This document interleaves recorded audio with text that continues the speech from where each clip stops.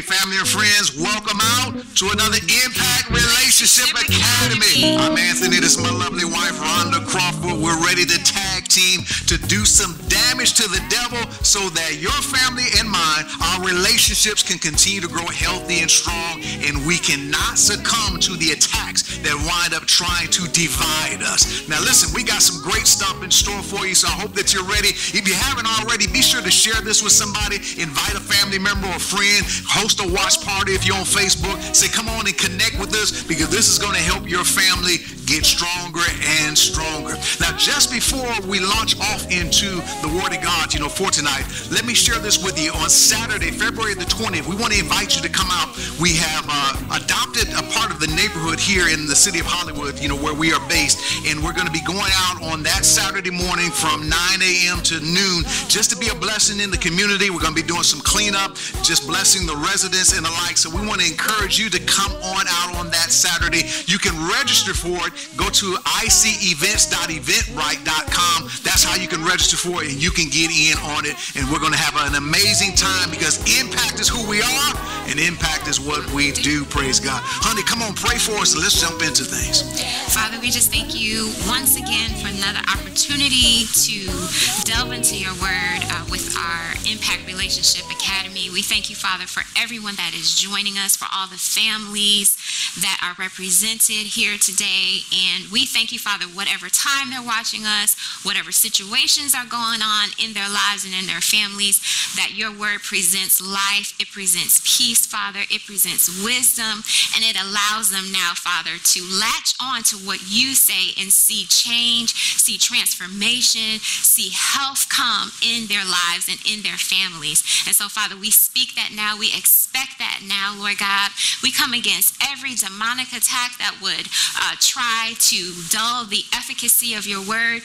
And we say, Father, that your word goes forth unhindered right now. We thank you for it. In Jesus' name, we're expecting great things. Amen. Amen. Amen. I agree. I agree. I agree.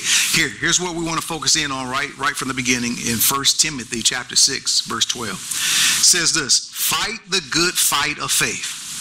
Lay hold on eternal life, to which you were also called and have confessed the good confession in the presence of many witnesses. Fight the good fight of faith. Here's what we want to deal with on tonight. And we actually we're going to deal with it tonight. We're not going to be able to finish. I already know that. So we're going to come back to it on next month as well.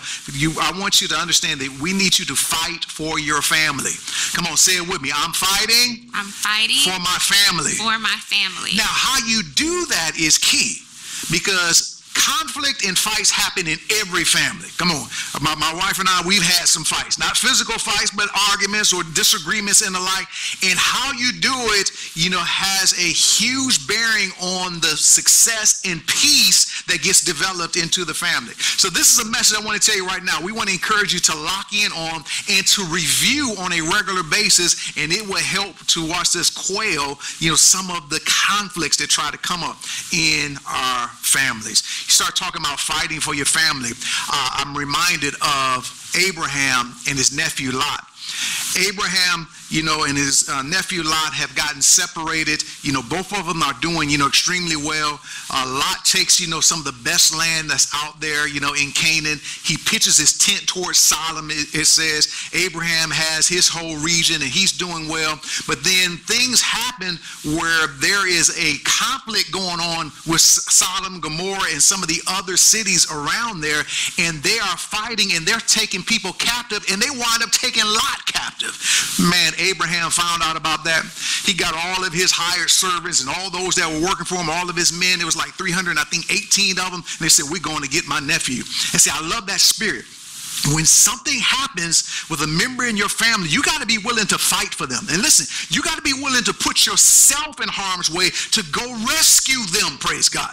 Don't just let them just wind up succumbing to the attacks that have, you know, pulled them away and brought them into captivity. You ought to think of yourself as the one who has the anointing to remove the burden and to destroy the yoke and be able to make them free, praise God. So have that kind of heart that Abraham had, you know, for his nephew, Lot. So here's a few admonitions we want to give you, praise God, just to get started, you know, so you can understand. What you got, babe? Well, you know, that was that was just, you know, a really great example with Abraham and Lot and him mm. really just fighting and not accepting that, you know, this family member was going to be now destroyed. Mm. And so some areas that we want to apply that to, first we want to talk about married couples. Mm. Married couples, we want to encourage you and implore you today. You can't give up on God and you can't give up on each other. That's good.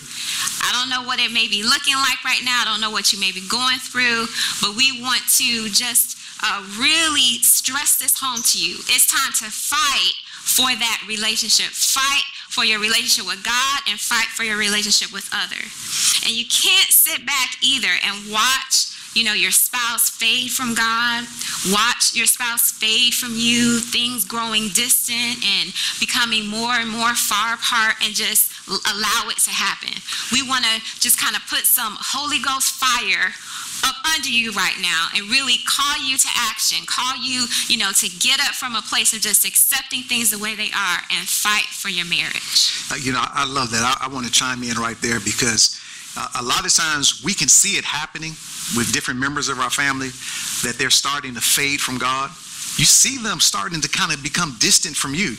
That's not a time just to kind of sit back and be like, well, you know, I'm not going to bother them. I'm going to let them work through it.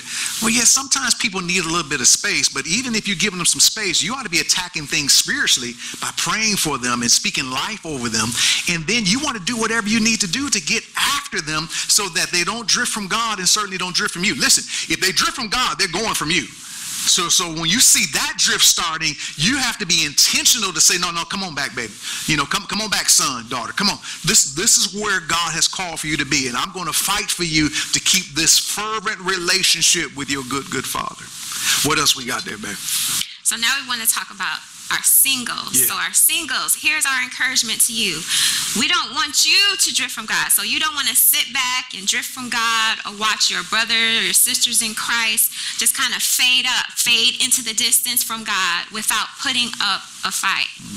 You know, it's time for us to stop living on an island. It's time for us to just kind of um, be consumed with me, myself, and I, and what I need, and my four and no more. And it's time for us to really be paying attention to the other people that God has placed in our lives and He has called us to be a blessing to, so that when we see certain things going on with them, we can now be that person, that person of strength, that person of encouragement, that person to help them get up and fight for the things that are going on in their lives as well.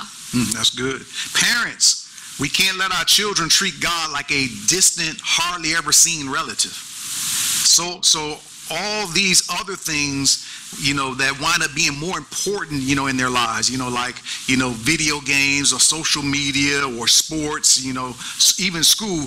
We don't want those things to become more important to them than the relationship that they have with God.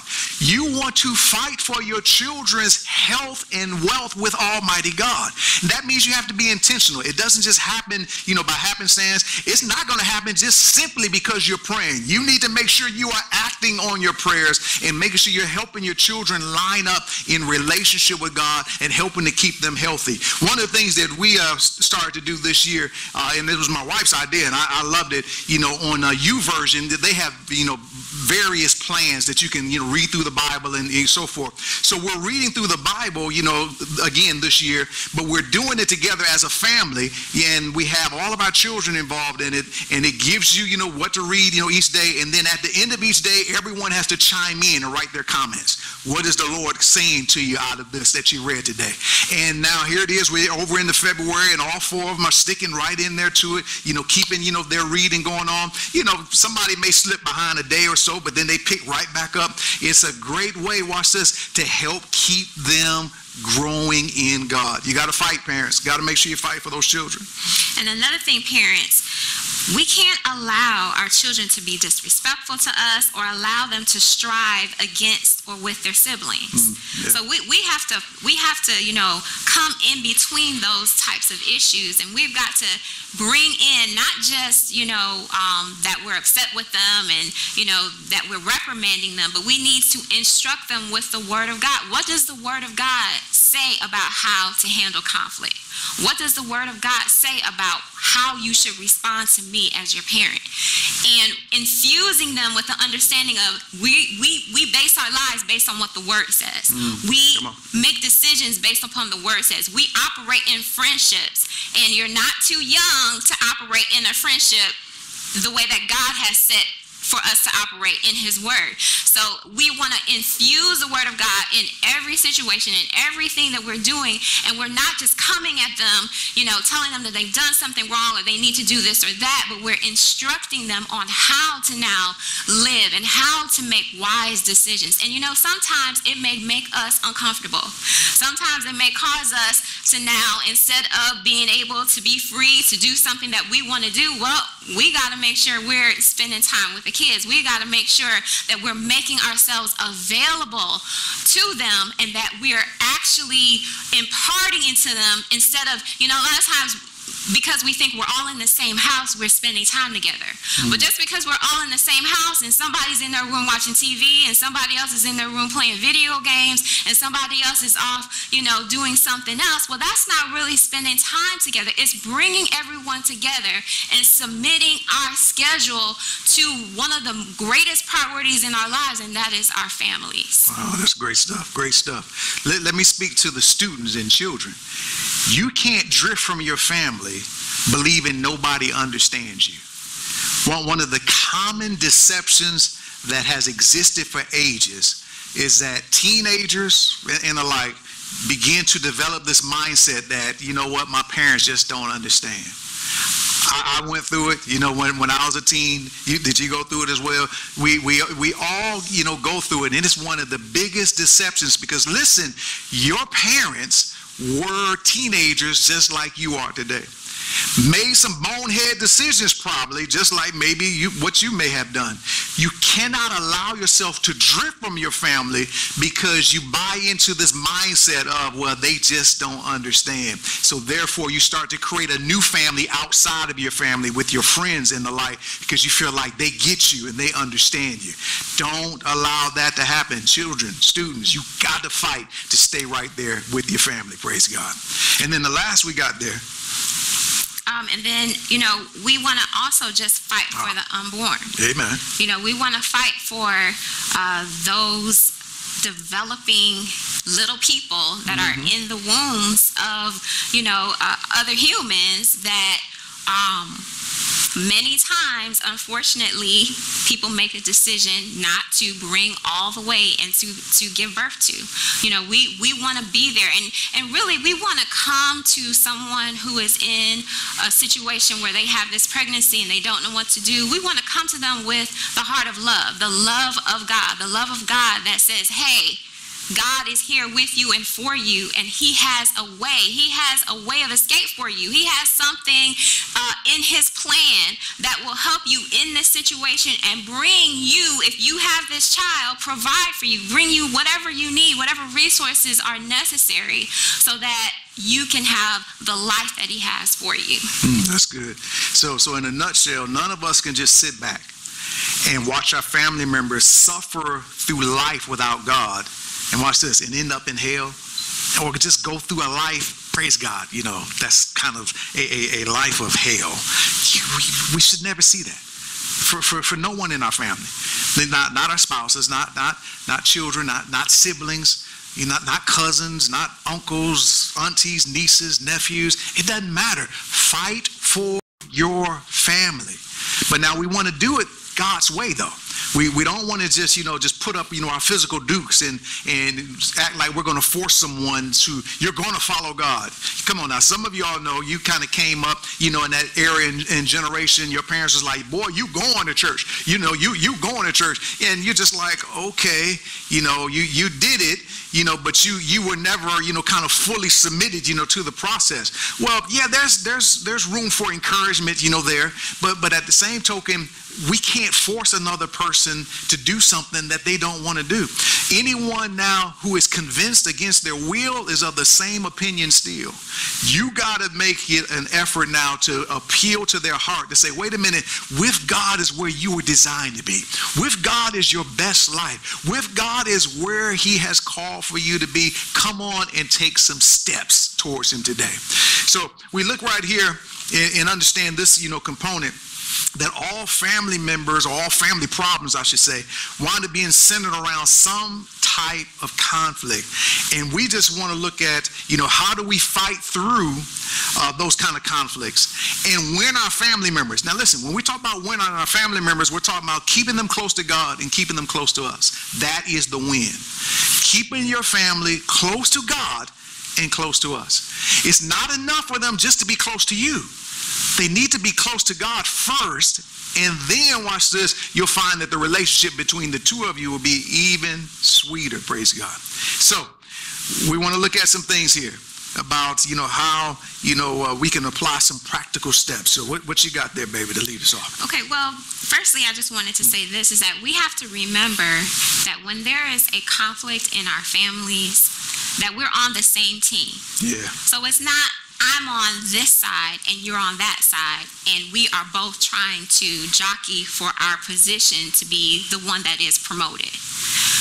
When there is a conflict, we remember that, you know what, we are on the same team. If I lose, the team loses. Yeah. If they lose, the team loses. So it's not about me necessarily trying to promote my position and to make that person submit to what I believe needs to be done or needs to be said or what we need to do.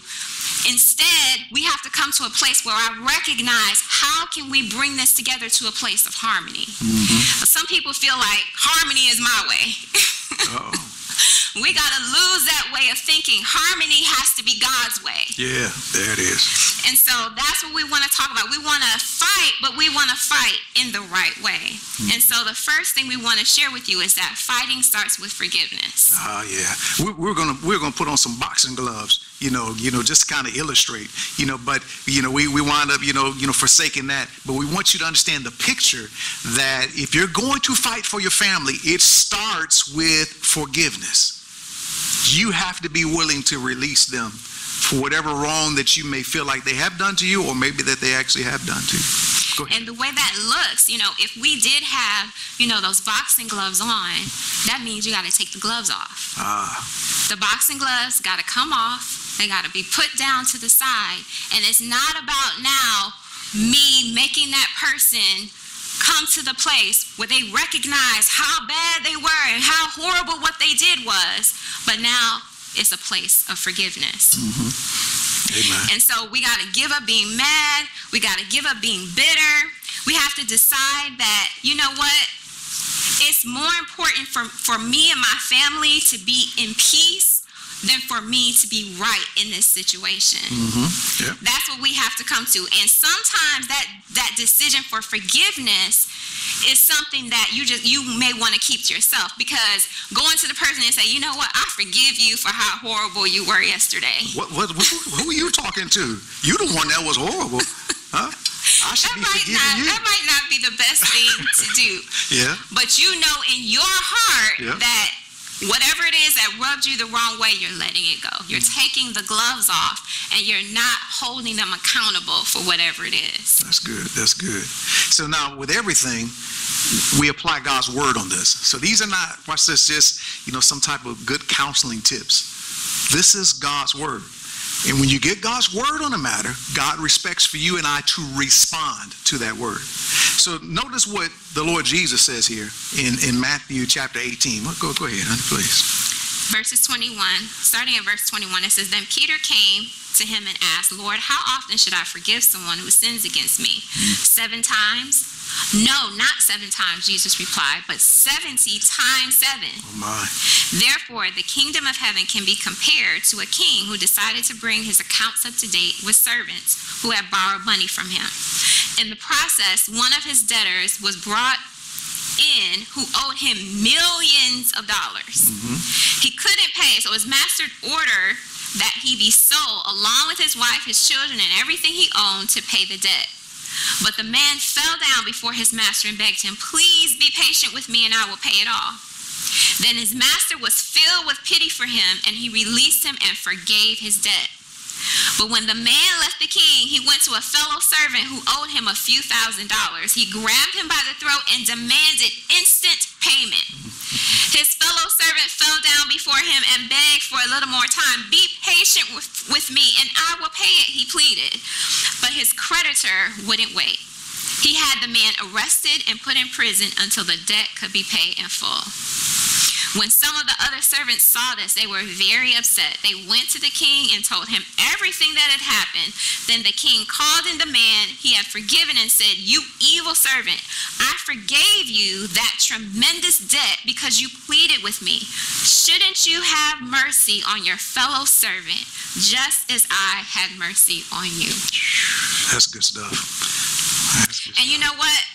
I think one of the most um, thing, one of the things that stands out the most as you read this verse is that this person couldn't pay the debt that he owed his master. Mm-hmm. And we have to come to the fact of realization that whatever wrong was done to us, that person cannot pay it. Mm-hmm. They can't turn back the hands of time and redo what happened. We, we, we don't time travel right now. Nobody has invented that yet. So what happened has happened. They can't erase the situation that happened out of your memory.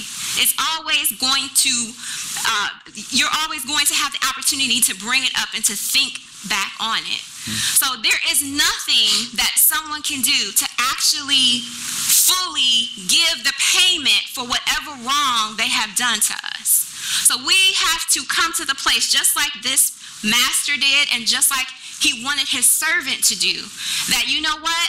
I am removing the requirement of repayment from you. You no longer owe me anything. It is my decision now that I am placing upon you. I will no longer hold you to account for this debt that I believe that you owe to me. The longer we hold it over them, the longer and the more poisonous the relationship becomes. So we have to come to the place where we say, you know what? Even if you even if you tried, you couldn't repay me. So I'm not going to hold it against you. Mm-hmm. Just like even if I tried, I couldn't repay God for the debt that was there against me for all of the years of things that I've done wrong and things right now that I may do wrong. There is nothing I can do to turn back the hands of time to make it not happen. So, Father, thank you for just forgiving me. Yeah. And because you forgive me, I can forgive somebody else. Mm. And you know, sometimes the person you have to forgive is yourself. It's good. Sometimes it's you that you have to say, you know what? I messed up in this relationship. I did something here. I did this to this person, but I'm going to forgive myself the way God forgive me. Hmm, that's good. You know, Peter had an issue with this, just like you and I probably have some issue with it sometime. And that's why Peter asked. He thought he was doing something good. He said, Look, Jesus, how often, you know, should I forgive my brother? Now, the context of the discussion here was in one day. He says, Should I forgive him seven times? In other words, what Peter was saying, if I forgive him seven times and the eighth time he does it again, can I knock his teeth out? I mean, that, that, that was Peter's kind of, you know, mindset here. And Jesus messes him up. He says, oh, no, no, no, no. To forgive him 70 times seven in one day. 490 times. Now, obviously, Jesus wasn't saying, you know, keep track, you know, up to, you know, 490. What he's saying is that forgiveness is always supposed to be there and always supposed to be extended just like it has been extended to you and I. Here- here's a particular case that we have to recognize that there is no issue, no wrong that has been done to us that uh, trumps and causes us to excuse ourselves, I should say, from forgiving someone else. Sometimes we can feel like you don't understand what they did to me. What, whatever it is, it pales in comparison to the forgiveness that God has extended unto all humanity. And that's why God is saying here, like, look, just like you saw with that one servant who owed a million dollars and he was forgiven, but then he turns around and holds someone who owes him thousands of dollars and throws them into prison. Says, no, you want to extend unto those people in your life forgiveness just like forgiveness was extended unto you because the debt that you and I owed was far more than what that person did to you or did not you know do for you. See you have to have a heart that forgiveness has to always be applied. Come on say it with me out there. Forgiveness must always be applied Listen, we appreciate the forgiveness, you know, when we desire it. We appreciate it from God. We appreciate it from our spouse and other members of our family. So then make sure now you extend it that same way. Now, forgiveness requires us to adjust. Forgiveness requires us to swallow pride. Forgiveness, you know, requires us now to maybe now we don't look like the big man in the room. Because we came in to say, look, you know what? I'm sorry. And I, I'm going to tell you something especially in marriage and family, but for, for everyone, you, you can make great progress in your relationship when you just learn how to, you know, uh, apologize even when you feel like you haven't done anything wrong. Ah, why, why, why am I going to do that? They the one that's wrong. Listen, if you all are in a conflict, both of y'all are wrong. So someone's got to be, watch this, big enough to take the step towards reconciliation. And that starts with forgiveness. Praise God. Yeah. You know, um, something you said that was great, and that is when you mentioned um, forgiving, even though you feel like you've done nothing wrong. Because we have to remember that forgiveness is not a feeling. It's not something that we um, we, we we necessarily agree with with our emotions. Forgiveness is a decision. Yeah. Forgiveness is a decision. It's, it's I'm simply no matter how it feels right now, no matter how it looks right now, no matter what's going on, you know, jumping off on the inside of me right now, I make the decision in spite of how I feel to apply what God says and forgive you. And that's something that my feelings cannot uh, you know, override. My feelings cannot then cause me to backtrack because I've made a decision that's not dependent on what they say. Hmm, that's good. That's good. Let, let's let's give you the second key for fighting for your family and those relationships in your life. Proverbs chapter 18, verse 19 says this: A brother offended is harder to be won over than a strong city, and their contentions separate them like the bars of a castle. A brother offended is harder to be won over than a strong city. The contention, now the strife, is, is separating you like bars in, in, in a castle, bars in a jail cell. You can't get from this side and they can't get from their side. You have to come to a place where you relinquish that. And that's why, again, we said we start with forgiveness so that you can begin a reconciliation, you know, process. So the second element here and key is schedule some time alone with just you and that family member on a neutral site. Schedule some time. Just just just you and them. Come on, let's let's sit down and, and let's talk through this. You know, I love you and I know you love me. Come on, let's let's get rid of these bars and let's begin to deal with something we, we reference here about doing it on like a, a neutral site and doing it alone because you know how it is. Sometimes people like to perform before an audience. So you get other people around and so forth, and it's just like, well, wait a minute now. Who, who you think you talking to? Everybody voice get deeper and all that kind of stuff. And you know, you don't know me, uh, you know, because people want to perform for an audience. But when there's nobody else there, and it's just the two of you now that are, are looking eyeball to eyeball, and you've started with forgiveness, you can start to make some inroads to really heal from things. Yeah.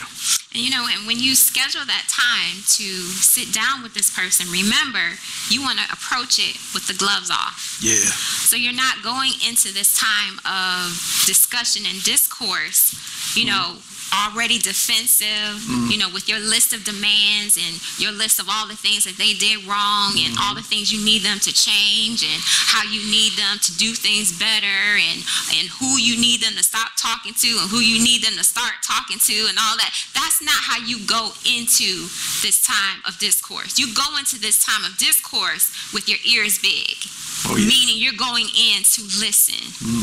to hear what is coming from their heart. What are they saying? How are they seeing things? How are they receiving you? What is their perspective? And when you submit all those other things that you can tend to want to bring to the table to just listening, that starts things off on the right track. Mm. Let, let, let me ask this question. Can Can you be okay with peace in your family even though your point maybe was not clearly understood?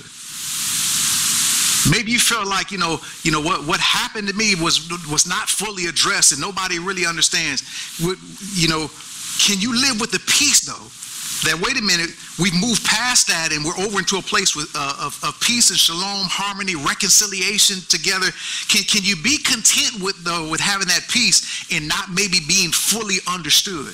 Sometimes the understanding will come a little bit later. Can you be okay with, you know what, you know, I, I didn't get my way. Uh, I didn't feel like, you know, my side was clearly heard, but I'm so glad now that we are functioning well together in relationship. Can you be okay with that? And if you can learn how to be okay with that, you'll find that many of the relationships in our lives that have these conflicts, the conflicts can quickly be resolved. And listen to me, over a process of time, your position will become clear as well. What, what do we have next, Aaron? Well, the next thing we want to share is to pray for peace or for the peace of that other person in the family. Yeah. Um, and, and when we say that, what we're talking about is their growth in God's love for their life and their love for everyone else in the family. So That's you want to, we're praying for them to grow in God's love, and you want to pray for them to grow in love for those um, that are making up your family. You know, our love for others is really an outward manifestation of how we, receive God's love for us. So if in these relationships, relationships with my family, with my spouse, you know, with my coworkers, in these relationships, I am testy, I am judgmental, I am easily offended. It's just speaking to the fact that my relationship with God needs some growth. It, it, it, it needs some mending. My relationship within my relationship with God, I have not fully received and understood the love that He has for me. Oh, yeah. So we always want to remember what's at the root of any issue that we're having with someone. At the root is not because the person is a horrible person, it's not because the person just don't know how to do right, not because the person just don't like you or the person just is is is not a good person. It's because at the root that relationship with God needs to be shored up. There needs some to be some growth and some maturity there. So we want to pray for them to grow in that relationship and that will always affect the relationships that they have with others. Now, now, what I hear clearly from that is Ephesians chapter 6, verse 12. For we wrestle not against flesh and blood. So you think the problem is them, and it's not. It's not. You're taking all your anger and animosity and bitterness and rage out on them, and that's not the issue. It's not the issue, and you want to learn how to deal with things at the root, the spiritual root of things, and then recognize that you know what they they they don't they don't clearly understand what they're doing. They may be under the influence of something. So you want to deal with things at the root, and then learn how to love them despite what has happened. When you do that, come on now, you got great peace going on in the family.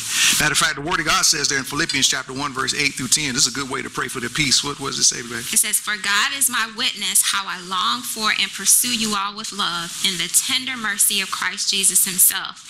And this I pray that your love may abound yet more and more and extend to its fullest development in knowledge and all keen insight.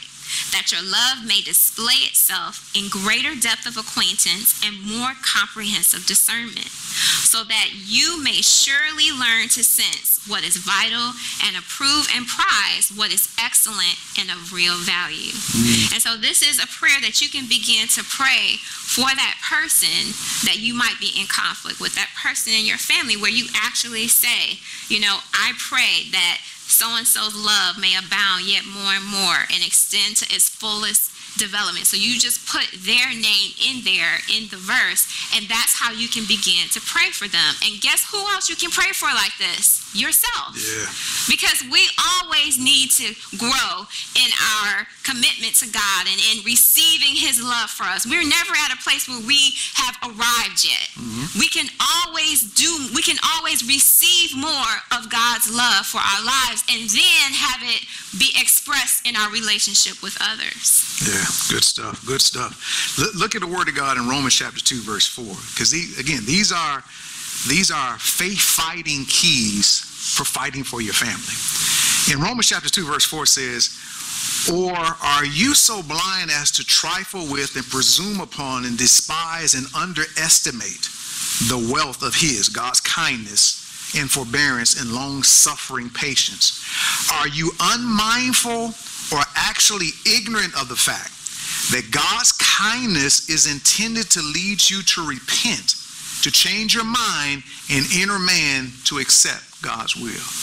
Come on now, the goodness of God is what leads a person to repentance. See, at the end of the day, you, you want to see, you know, maybe that family member as well as yourself repent.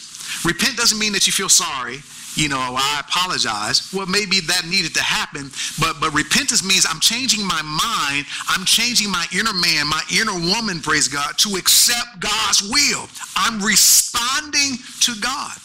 And God says what leads a person to that is not, you know, preaching of condemnation and you're going to go to hell if you don't, you know, do this, that, and the other. He says, no, what leads a person to that is goodness. He says, when they begin to experience my goodness, this is what creates that sense of repentance. And so this brings me to probably maybe my favorite one that's on the list. If you're going to fight for your family in these relationships, bring that person a gift. Bring a gift to the table. Come on, right here in the midst of the conflict, right here in the midst of them talking about you, right here in the midst of this, that, and the other, bring a gift to them. Take some of what you have, come on, some of your money, some of your resources, some of your time, some of your effort, and sow into their lives. You would be wonderfully amazed at how that gift will begin to soften the heart of the person. Now, I can't guarantee that every everyone is going to be like, "Oh, thank you so much." No, some some will be honoring and be like, "Oh yeah, thanks. Get out of here." They'll still be mad, but that's all right though. You can't control them. You want to though applaud yourself that I'm responding to God. God, God says here His goodness is what leads to repentance. And that's what I want to do. You remember Jesus made the statements over in Matthew chapter 5, you know, verse 44 says, Bless those that curse you. Do good to them who, you know, uh, you know, uh, despitefully use you. Pray for those, you know, that, that are coming against you. In other words, Jesus says, come on now, do good. Bring a gift to the table. Listen, I've, been in ministry now for a number of years, praise God. I mean, actually, uh, you know, more than a couple of decades. And this has been one of the things that I have counseled people on for years. And I, have always, a lot of times, get the people, you know, looking at me crazy, like, I ain't doing that.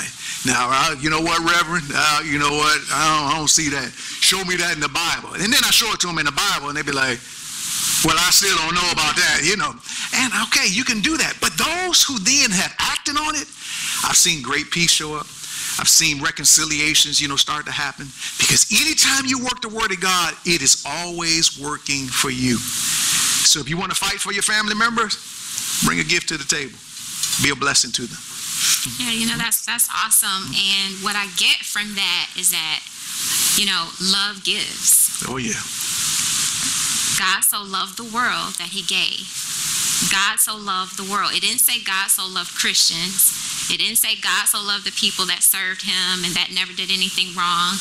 It didn't say God so loved, you know, uh, the person that prays 24 hours a day. He loved the world. He loved the people who were full of sin. He loved the people who were far away from him, who weren't even thinking about him, who were doing the opposite of what he had planned for them to do. It said he loved them so much that he gave. But then what did he give? He gave his very best. He gave the only thing that was the most prized possession to him. Yeah. He gave it away to those who were far away from him. Love gives, and it gives regardless of whether you feel the person deserves the gift or not. Love does not demand for someone to work in order to receive its gifts. Hmm. So you don't have to correct yourself first before I bless you now. No correction is necessary. Hmm. good. It just gives in the midst of the situation that that person is in. And once that happens, it creates and opens the door for repentance, for transformation, and for really uh, restoration. Hmm. Because that's what God's love did for us. We were restored for to Him because of the gift He gave us. Yeah, that's good stuff. That's that's good stuff. Listen, respond to God's word. Respond to it. Don't let your mind talk you out of it. Because your mind will say, yeah, but. Get your butt out of there and go ahead and respond to what God says. Listen, we, we, we pray that this is adding some value to you and helping will help you in the relationships in your life. We know that it will because we've applied it ourselves. We've applied it ourselves in marriage. We apply it, you know, with you know other relationships that we have, and God's word always works when you work it. We give you one more here. We'll finish on this particular point here, and that is what you see in Second Corinthians chapter 7, verse 10. It says, For godly grief and the pain God is permitted to direct produce a repentance that leads and contributes to salvation and deliverance from evil, and it never brings regret.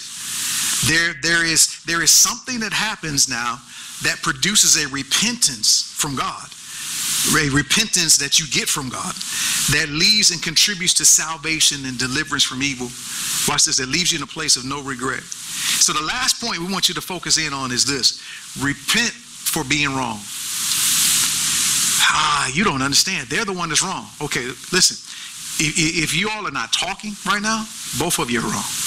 You know, if if you know you're a married couple and, and y'all laying there, you know, on, on two sides of the bed and, and nobody even want to say good night, come on, both of you are wrong. Even if she started it, you know, I would have to still be a case. I still have to be a case now that I, I, I apologize, baby. Good, good, good night. You know, I, I love you. Listen, you got to own your part. Yeah, may, maybe the other person's part is 60%, 70%, 80%. Whatever your percentage is, you got to own it. You got to own it and say, you know what? I repent. I'm changing from my thinking in this area. I'm adjusting my inner man, my inner woman to submit to what God is saying now. You got to repent. If you, if you don't repent, listen, all the conversation and the gift giving is not going to make a, a, a big difference because you're still of the same opinion. And when you're still of that same, you know, opinion, contrary opinion, the thing is just going to erupt all over again. You and I have to repent. Yeah, that's great. You know, and just like you had your hands up like that, we need to go from this to this. Come on. I'm not fighting you anymore, but I'm submitting and yielding to God. And I'm accepting responsibility. I'm accepting responsibility for my part in this situation. And you know what? This this came to me that I think for certain personality types, um, you know, uh, we talk about, you know, different biblical personalities and we talk about, you know, the perceiver and the teacher and, you know, the person who has a heart of compassion, so on and so forth. I think there are certain ones of us who find it harder to repent because we think we're right a lot. You know, we think, you know, when we look at the facts and we look at what happened, we're like, okay, my logic says that, you know, I, I tend to be right most of the time. Hmm. And so it's harder for us to repent because, you know, we think, you know, I- I'm right. I'm right here. But what I want to share is, and the, the way that God said it to me is, if you think you are always right and you never have to repent, you might want to check your pride issue Oh, yeah. That's good. because nobody is always right. Mm-hmm. Nobody is always 100% not wrong, and it's always 100% the other person's situation, the other person's fault. If you feel like that most of the time, you need to step back and evaluate. Maybe I might be walking in pride here. And so we want to come to the place where we stop doing this and we start doing this mm, That's good.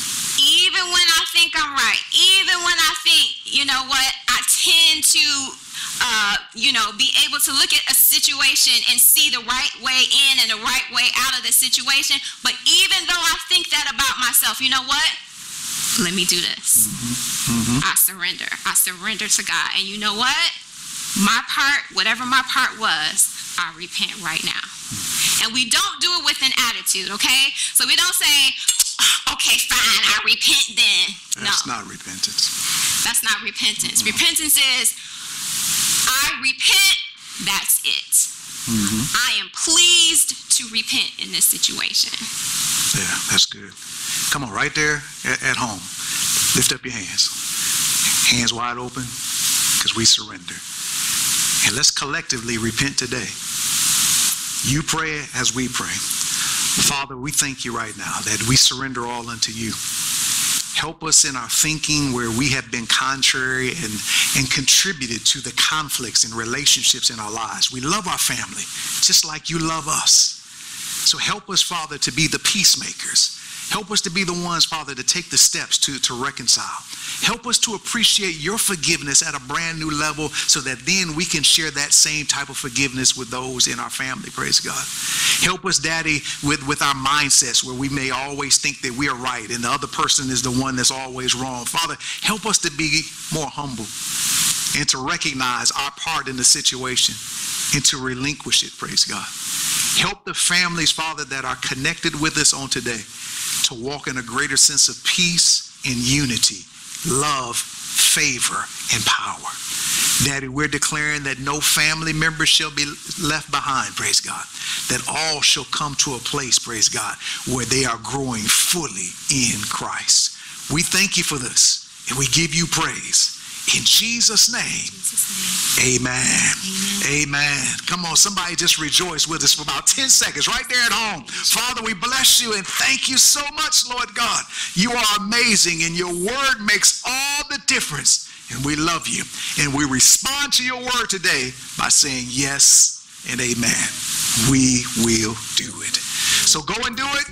Keep doing it and enjoy the benefits of it. We'll look forward to seeing you again soon. Join us on Sunday morning. You can come in person at 9 a.m. or join us online at 9 or 11 as we continue to dig into God's Word. Blessings to you. We love you. Bye.